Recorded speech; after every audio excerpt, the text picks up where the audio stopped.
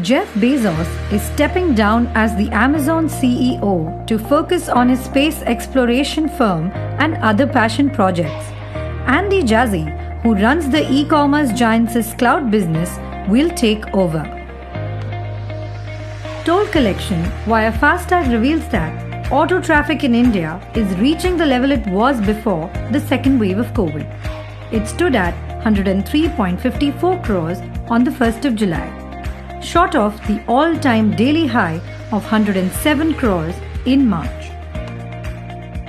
Did you know ownership of private cars in India will grow by 775% over the next 20 years, with 175 cars per thousand people in 2040, as per International Energy Agency, France's autonomous intergovernmental agency.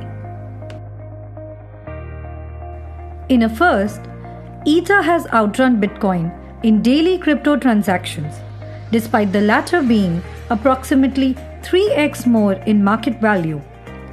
The Ethereum network is reportedly more eco friendly and has multiple uses. Panacea Biotech gets the nod to produce Sputnik V in India, making it the first pharma company that will locally manufacture the Russian vaccine. Dr. Reddy's is likely to market the anti COVID jabs.